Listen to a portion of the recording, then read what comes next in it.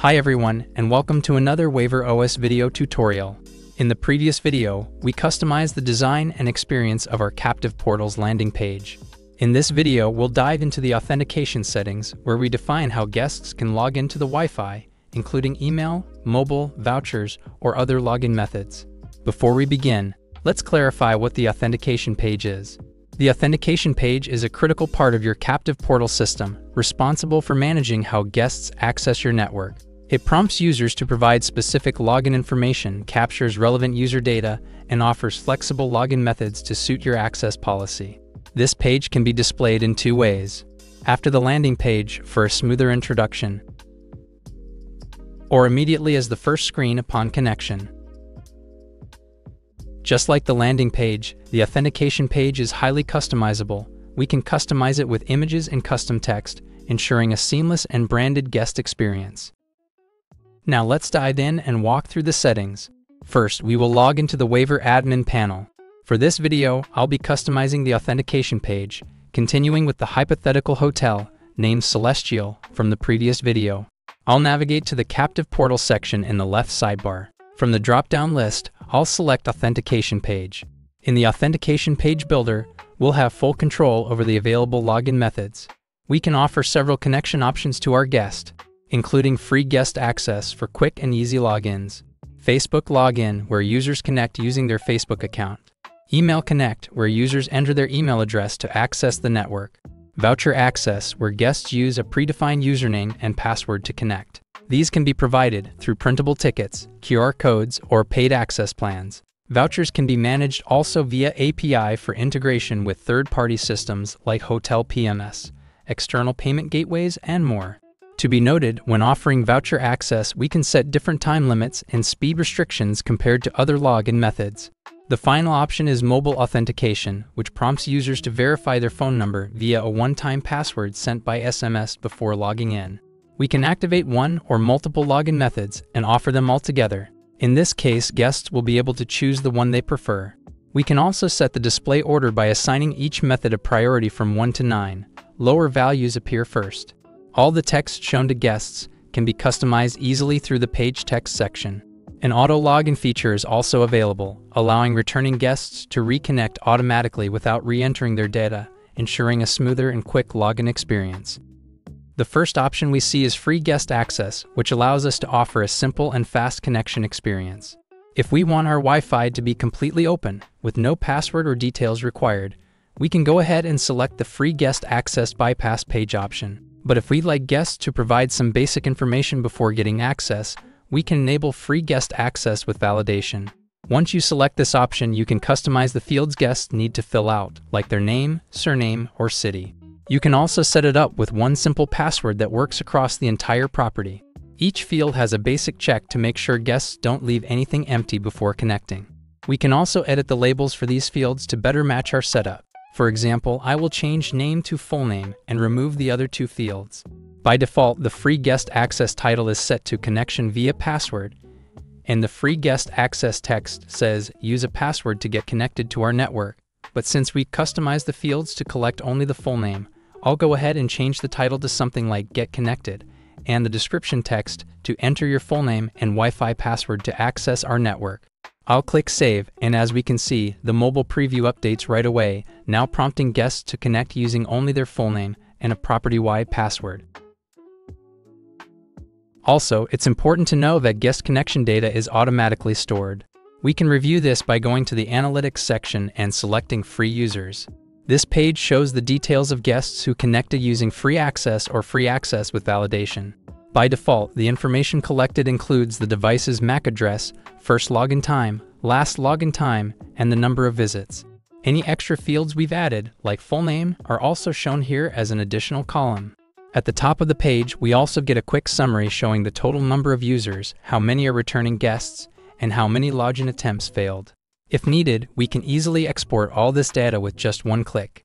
Now let's move on to guest authentication. The first option is Facebook Login, which allows guests to authenticate using their Facebook account.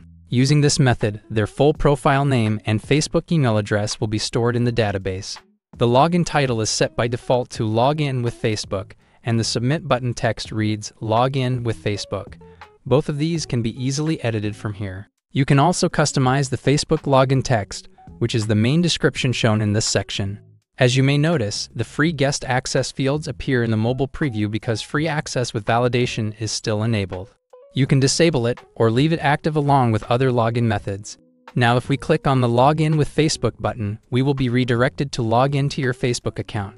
Once connected successfully, we'll gain access to our network. To review the details of guests who connected using the Facebook login method, I'll go to the Analytics section and select Facebook users. Here we can see their Facebook profile name, photo, email address, first and last login times, number of visits, and whether they consented to receive marketing materials. Next, we have the Email Connect method. With this option, guests can gain access to the network by entering their email address. This method also supports extra input fields, which we can fully customize. For example, we might want to ask for additional information like the guest's full name. Just like the previous methods, Email Connect can be used on its own or combined with others. In this case, I'll keep the Facebook login method enabled and deactivate the free guest access with validation. So I'll click Save, and as you can see, the mobile preview now shows the Facebook and Email Connect options. And the full name field also appears in the Email Connect section because we've added it as an extra field.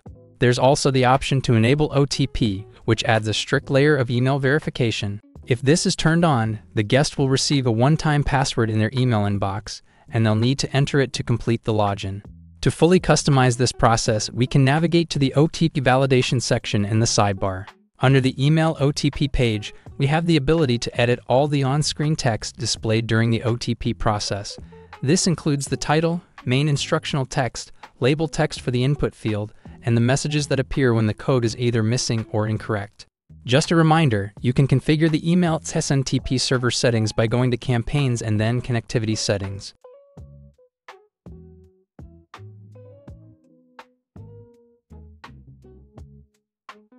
Now moving on to the email content section, we can configure the email body that delivers the OTP to the user. This includes the email subject, which is by default set to email verification, the main message, something like please use the code below to verify your email and gain access to the network, and the line introducing the OTP itself, typically phrased as your one-time verification code is, followed by the automatically generated code.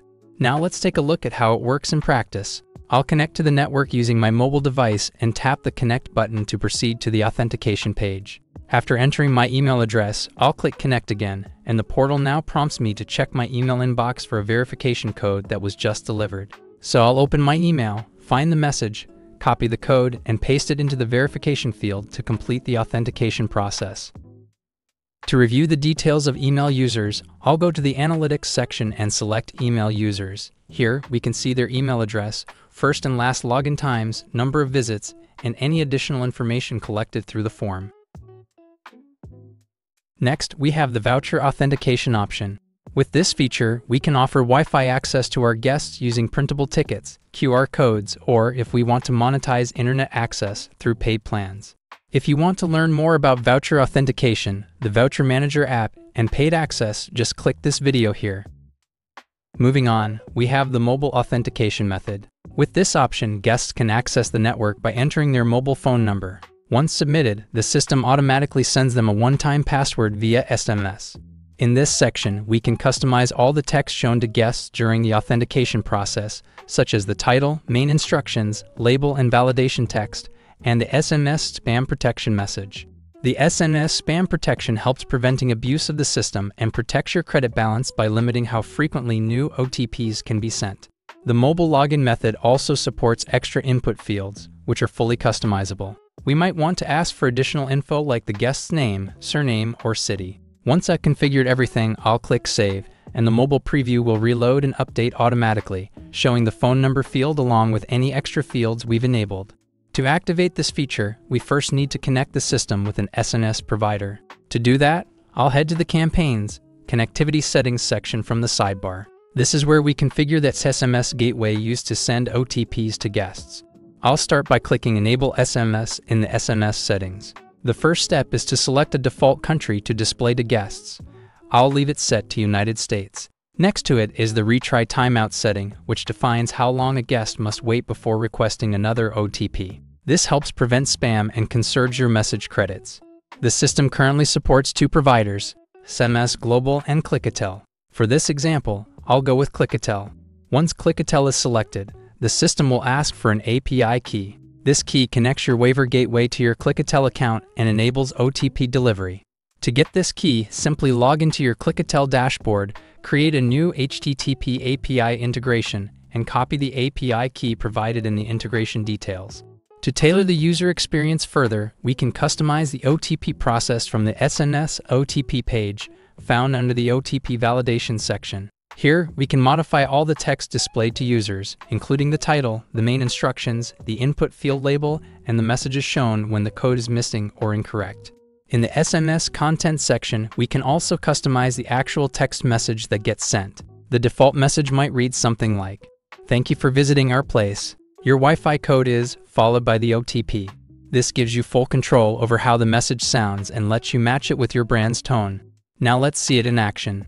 I'll connect to the network using my mobile device and tap the connect button. The authentication page appears, asking for my phone number. I enter it and tap connect again. A message immediately prompts me to check my SMS inbox for a verification code.